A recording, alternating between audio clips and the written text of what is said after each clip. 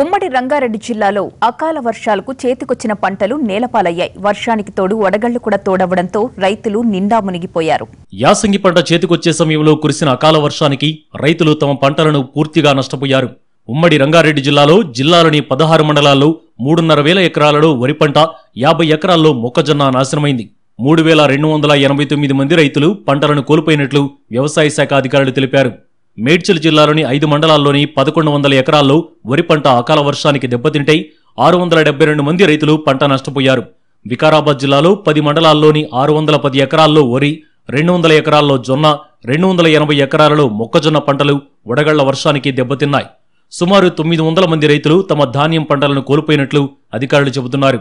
రంగారెడ్డి జిల్లాలో వేలాది ఎకరాల్లో వరి మొక్కజొన్న జొన్న పంటలతో పాటు పండ్లు పూల తోటలని రైతులు నష్టపోయారు.